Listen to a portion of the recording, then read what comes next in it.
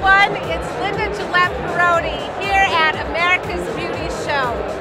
We are delighted to be here. We're at booth 9042 and today we're doing lots of hand massages with our hero product called Daily Moisturizing Cream. What we do at Parodi is we make products that work fantastic for the